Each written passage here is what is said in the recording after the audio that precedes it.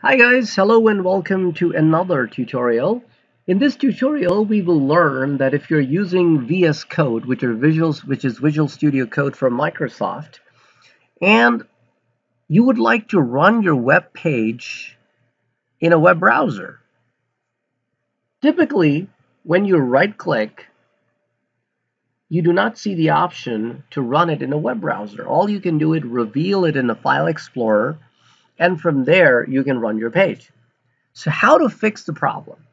Well, luckily we have so many extensions available to you uh, uh, to, to us in Visual Studio Code.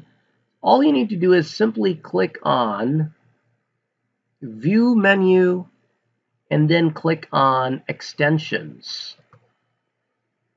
Then here in the search and extension type, open then you click on Open in Browser, which is an extension, and you click Install. Upon installing this, you can save the changes by hitting Control S and close this. You can go back to your file. You can right click and now you can see the two options which we were not seeing before.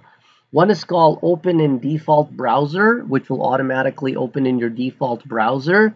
The other one is open in other browsers. So if you click on open in other browsers, the other browsers other than your default browsers will show up in the list. Now run it in a browser of your choice. I hope this solves your problem. Thank you for watching. Don't forget to like, share, and subscribe.